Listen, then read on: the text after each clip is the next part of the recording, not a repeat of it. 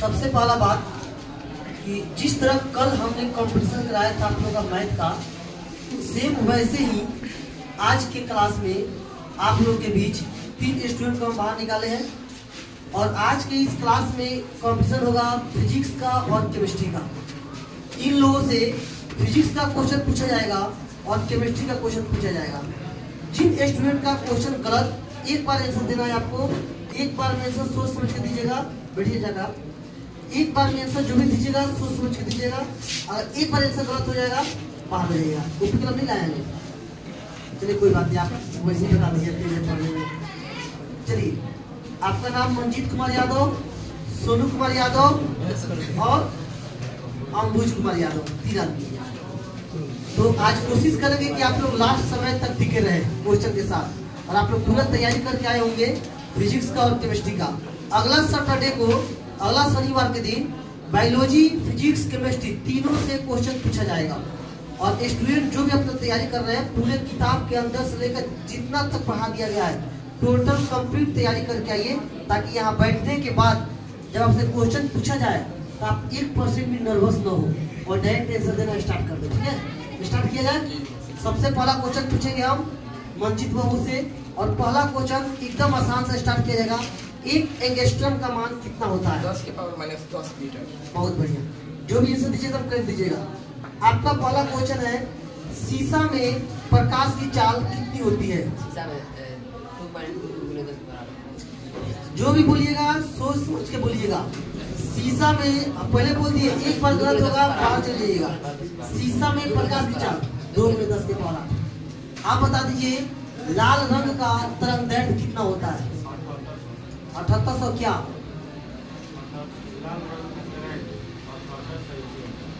क्या? सब मेन चीज़ बताइए, अठहत्तर सौ क्या? अठहत्तर सौ के बाद कुछ लगता है ना जी? वो बताइए।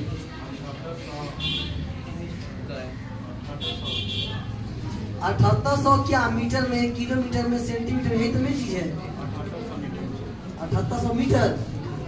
चलिए, लगभग गलत हो गया आपका ये आंसर और इस क्वेश्चन के साथ आप सेंटीमीटर होता है। वो गलत है अब देखिए।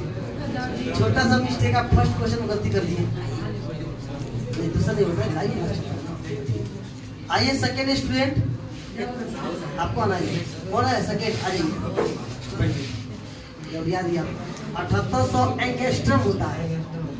फ़र्स्ट टाइम से पूछे जब दैर्घ्य पूछ रहे हैं तो तरंग दैर्घ्य कैसी बात है एंगस्ट्रम होता है तो एंगस्ट्रम नहीं बोला जाएगा। आइए राजू कुमार यादव। राजू अंसारी, कोई बात नहीं है। स्टूडेंट के लिए कोई कुछ नहीं। जो नाम बोल दिया गया, वही नाम। आइए, आपका मोस्ट वेलकम है। और आपसे क्वेश्चन भी काफ़ी आसान पूछेंगे, सबसे शुरुआत आप ही से किया जाएगा। आपका फ़र्स्ट क्वेश्चन है केमिस्ट्री से एलपीजी में जो रसायन मिलाया जाता है गंध के लिए, उस रसायन का नाम क्या है? जो भी बोलिए आंसर थोड़ा ज़ोर से बोलिए ताकि वहाँ तक आपका आवाज़ आ सके। एथिल मर्केप्टन आप बताइए बाबू एथिल मर्केप्टन का सूत्र क्या होता है? क्या बात है? इसे बोलने वाली बोलिए सोनू जी आपका क्वेश्चन है एकदम सिंपल सा क्वेश्चन है। रेडॉक्स रिएक्शन जो होता है उसमें कौन कौन सी क्रियाएँ एक साथ होती है? उपचयन ऑक्सीकरण उपचयन और फिर सोचिए। घबराइए मत ठीक है?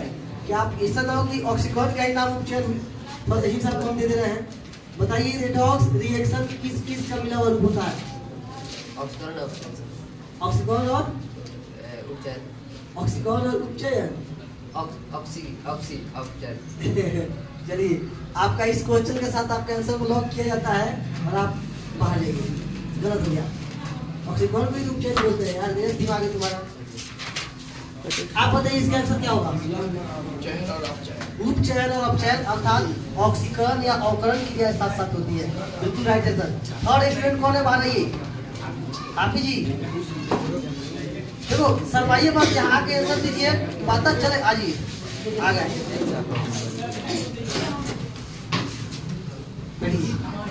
चलिए आपकी कुमार जी फिर पिछले बैच में भी थे और इस बार भी हाजिर हो गए हैं। पिछला कॉम्पिटिशन में भी थे ये। इस बार भी। क्वेश्चन पूछना स्टार्ट करेंगे हम आप क्वेश्चन बता दिए सेकंड क्वेश्चन आपसे आप बताइए फिजिक्स का क्वेश्चन है बैंगनी रंग का तरंग दैर्घ्य कितना होता है? अड़तीस आप बता दीजिए एकदम आसान क्वेश्चन किसी समतल दर्पण में ध्यान से क्वेश्चन सुनिएगा आप लोग भी किसी समतल दर्पण में पाँच सीएम की दूरी पर वस्तु को रखा गया है तो उसका प्रतिबिंब दूरी कितना सेंटीमीटर पर बनेगा? सब कोई ध्यान से क्वेश्चन सुनो जी। फिर से क्वेश्चन सुनिए। एक चांस देंगे आपको किसी समतल दर्पण में वस्तु को पाँच सीएम की दूरी पर रखा गया है तो उसका प्रतिबिंब कितने दूरी पर बनेगा? बीस सेंटीमीटर, बहुत बढ़िया। इस क्वेश्चन के साथ आप इस गेम से बाहर होते हैं। जाइए, गलत है, सर। कुछ नहीं, एक बार बोलना था, गलत हो गया। ये तेलुगु पहला बात ये हमने बताया था कि समतल दर्पण वैसा दर्पण होता है जिसमें जितना दूर वस्तु को रखेंगे, उतना ही दूर पर इसका इमेज बनेगा। अगर वस्तु दूरी पाँच सीएम है तो प्रतिबिंब दूरी भी पाँच सीएम ही होगी। आइए थर्ड स्टूडेंट कौन है जी? अगला आते रहो शर्माइए मत। जो भी है, जल्दी आओ। सीट खाली है। जितने स्टूडेंट क्लास में बैठे हुए हैं हाफिज कौन है जी? आ जाइए। कोई दिक्कत नहीं है। गलती से ही सही सीख पाइएगा। यहाँ पे आपका हेजिटेशन खत्म होगा। नर्वस सबका खत्म होगा। कब से इतना तो जानेगा ना कैसे आंसर दिया जाएगा। आगे चल के आप इंटरव्यू दीजिएगा। तो उस समय तो कुछ का सहूलियत मिलेगा। देखिए, ठीक है, आराम से बैठिएगा। इसलिए जी बहुत अच्छे स्टूडेंट है इस क्लास के।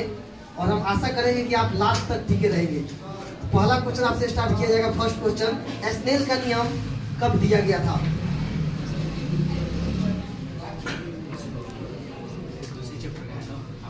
फ़र्स्ट में आता है प्रकाश प्रवर्तन और प्रवर्तन दोनों को बोले थे। क्या जी? पहले क्वेश्चन में लग रहा है कि क्या नहीं स्नेल का नियम कब दिया गया था? सन बता दीजिए उसका सोचिए थोड़ा ज़ोर लगाइए। कई बार ज़िक्र हुआ इस बात का।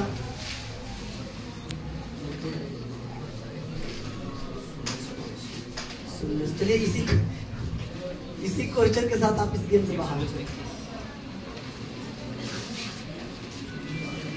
कोई बात नहीं है। गलती से ही सही सीखेगा। आइए सुधर जी।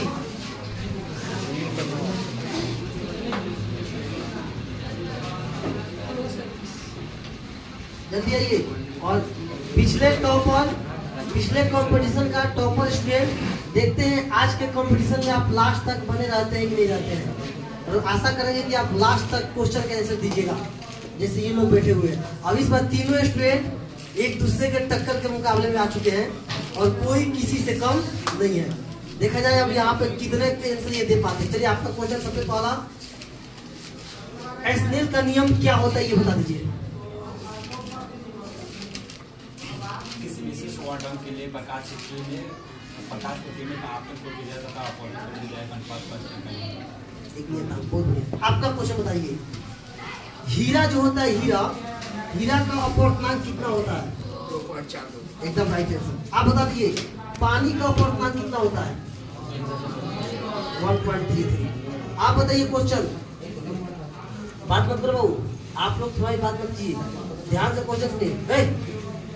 ध्यान से क्वेश्चन आपका क्वेश्चन है सिंपल सा क्वेश्चन पूछेंगे आपसे सोना और सोडियम। सोना भी धातु है, सोडियम भी धातु है। दोनों में ज़्यादा क्रियाशील कौन है? अधिक पावरफुल कौन है? सोडियम में। अधिक क्रियाशील कौन है? सोडियम। बहुत बढ़िया। आप बताइए एलपीजी का फुल फॉर्म क्या होता है? फिर से फिर से सोचिए, फिर से बताइए। हल्का सा मिस्टेक हो गए एलपीजी का फुल फॉर्म हिंदी दोनों मिक्स कर दिए। कोई एक एक क्वेश्चन चलता बाहर चले जाइएगा इतना देर टिके हुए हैं। एलपीजी का फुल फॉर्म एकदम आसान क्वेश्चन है। ये लगभग ठीक ठाक थोड़ा बोलने में घबरा जा रहा है। लिक्विफाइड पेट्रोलियम गैस आपका क्वेश्चन है एलपीजी का मुख्य अवयव अर्थात मुख्य घटक किसे कहा जाता है? ब्यूटेन गैस बहुत बढ़िया। आपका क्वेश्चन है विस्थापन अभिक्रिया क्या है? जब दो जब दो यौगिक अपने आने को अदल बदल करके दो नए यौगिक का निर्माण करते हैं उसे द्विविस्थापन बहुत बढ़िया राइट आंसर आप बताइए द्रव्यमान संरक्षण का नियम के अनुसार हम लोग संतुलित करते रासायनिक समीकरण को? ये द्रव्यमान संरक्षण का नियम दिया किसने था?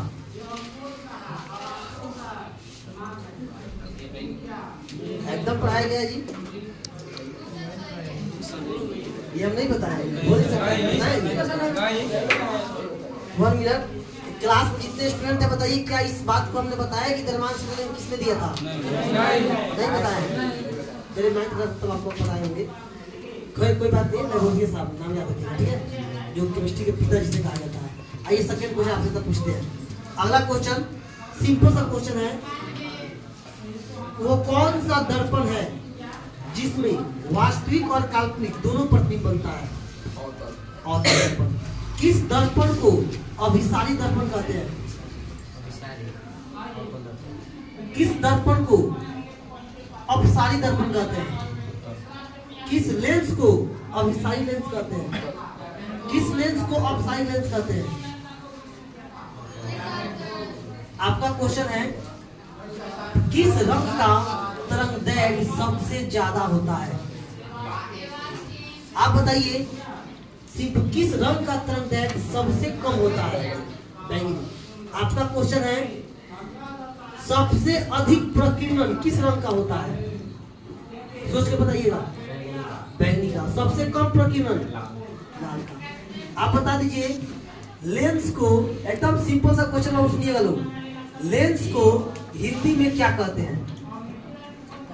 भी मत ये सब नहीं बताया थोड़ा सा कॉम्पिटिशन है भाई। लेंस ही हैं को हिंदी में क्या कहते हैं? ये क्वेश्चन आप लोग बाहर कर देगा।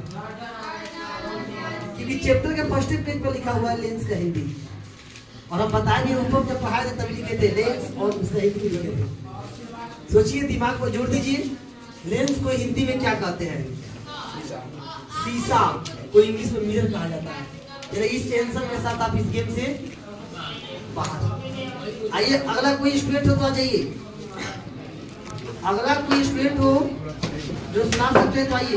आ जाइए बाबू। सरफराज अंसारी। सरफराज अंसारी जो अपने आप में बहुत ही अच्छे स्टूडेंट हैं इस क्लास के। बैठिए। और ये सोनकर से बिलोंग करते हैं आइए क्वेश्चन आपका सबसे पहले यही रहेगा। लेंस को हिंदी में क्या कहते हैं? ताल। बहुत बढ़िया। लेंस हिंदी में ताल कहा जाता है। अगला क्वेश्चन आप बता दीजिए। उत्तर लेंस किसे कहते हैं? हाँ।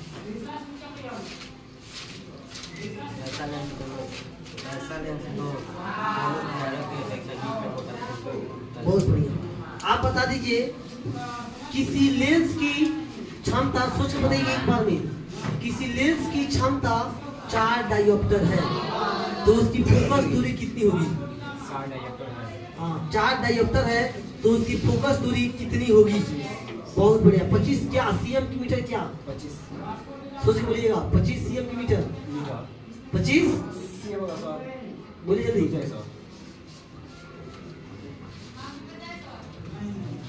Metre metre. पच्चीस मीटर? चलिए आपका इस आंसर के साथ आप इस गेम से बाहर हो जाते हैं। नहीं, खत्म। एक बार बिल्कुल वही गलती हुआ। क्योंकि फोकस दूरी हमेशा सेंटीमीटर में मापी जाती है। और डायप्टर को आप हंड्रेड से डिवाइड किए सेंटीमीटर बनाने के लिए।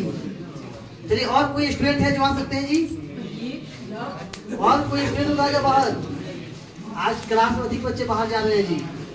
जो पिछले बार टॉपर थे, वो इतना छोटा मिस्टेक गलती करके चले गए। इसलिए आप लोग बोलते हैं, कभी भी कोई आंसर कोई पूछे तो आपको आंसर पता है, लेकिन हड़बड़ी में आप गलती कर दीजिएगा। आइए, बैठिए। क्या नाम है? किशन निखिल कुमार। निखिल कुमार जी, पहली बार आप आए यहाँ पे। तो क्वेश्चन आपसे स्टार्ट करेंगे बहुत आसान सा क्वेश्चन पूछेंगे। पहला क्वेश्चन है, बताइए आप क्वेश्चन पानी में प्रकाश की चाल कितना होता है?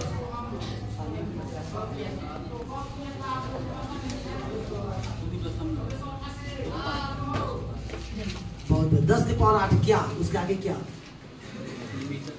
बहुत आप बताइए। आपका क्वेश्चन है। आसान क्वेश्चन पूछेगा आपसे। बताइए रासायनिक समीकरण क्या है? रासायनिक समीकरण। बोलिए रासायनिक अभिक्रिया में रासायनिक अभिक्रिया में। रासायनिक अभिक्रिया में बता रहे रासायनिक समीकरण क्या है? रासायनिक अभिक्रिया के नाम के जगह पर सूत्र का है। फिर से जो भी बोलिए सटीक आंसर दीजिए रासायनिक समीकरण क्या है? या किसे कहते हैं जल्दी। रासायनिक समीकरण क्या है?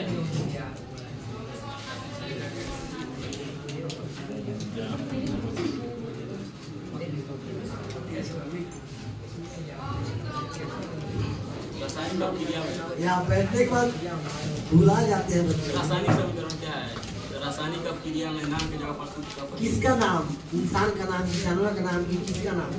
किसके नाम पे जब आप किसी को लगा दीजिएगा? मैंने जैसे होता है रासायनिक मैंने उसमें जैसे होता है ये जैसे जैसे ऑक्सीजन है ऑक्सीजन तो उसका ना, उसका नाम रासायनिक सटीक बोलिए ना उसके आंसर क्या होगा? ऐसे एग्ज़ाम नहीं लिखिएगा कि जो होता है ऑक्सीजन होता है या वैसे तो नहीं लिखिएगा। आप एग्जैक्ट सटीक इस- उसका अपने भाषा में दे दीजिए। सटीक बताइए। रासायनिक अभिक्रिया साफ़ बात बताइए रासायनिक अभिक्रिया में भाग लेने वाले पदार्थों की जगह नाम की जगह सूत्र का प्रयोग किया जाता है बहुत रासायनिक ये सटीक आंसर होगा आप बताइए। रासायनिक समीकरण जो होते हैं उसको संतुलित हम क्यों करते हैं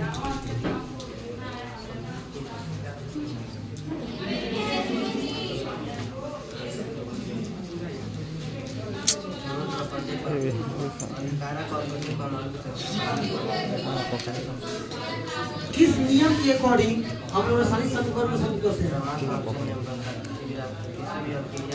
का की संख्या बराबर होनी चाहिए तो द्रव्यमान को संरक्षण को संतुलित करने के लिए किसी रासायनिक अभिक्रिया को करना बहुत आप बताइए मैग्नीशियम धातु मैग्नीशियम धातु ऑक्सीजन से अभिक्रिया करके क्या बनाती है? अगर मैग्नीशियम को हवा में खुला छोड़ दिया जाए तो ऑक्सीजन से अभिक्रिया करेगी? तो मैग्नीशियम धातु ऑक्सीजन से अभिक्रिया करके क्या बनाती है? मैग्नीशियम ऑक्साइड बिल्कुल राइट आंसर आप बताइए मैग्नीशियम ऑक्साइड का फॉर्मूला सूत्र क्या होगा? हाँ।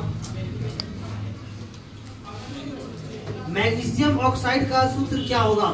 इतना छोटा सी बात आप कैसे करेंगे नहीं लिख पाए। एकदम सिंपल क्वेश्चन पूछे। मैग्नीशियम ऑक्साइड का सूत्र क्या होगा मैग्नीशियम ऑक्साइड का हाँ। जल्दी बता दीजिए।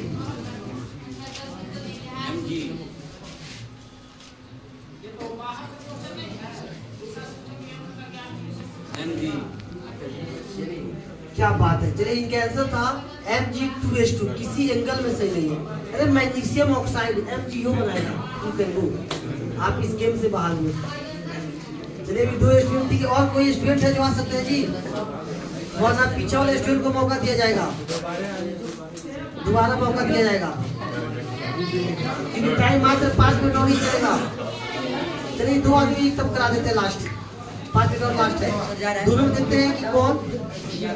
चलिए, कोई बात नहीं।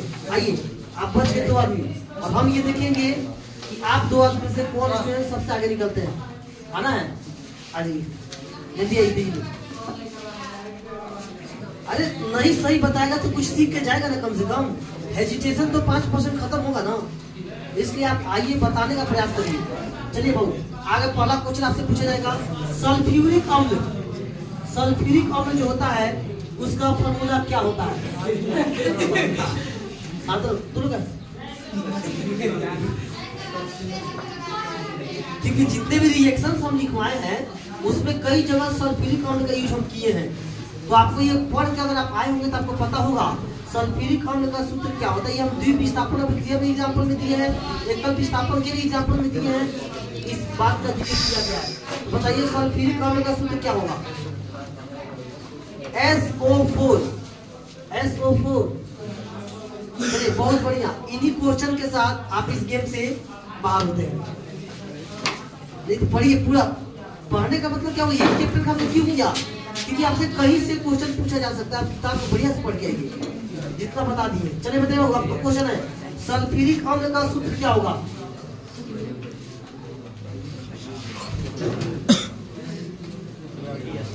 F E S O four F E S O four fresh sulphate हो जाएगा। गलत हो गया आपका भी आंसर इस क्वेश्चन के साथ आप भी इस गेम से बाहर हैं। चांस दोबारा नहीं मिल सकता है। नहीं अगर ये गलत बता देते हैं तो आप लोग किसी स्टूडेंट को यहाँ बुलाएँगे और उनसे लगातार क्वेश्चन पूछेंगे ताकि एक ही बताइए सल्फ्यूरिक अम्ल का सूत्र क्या होता है?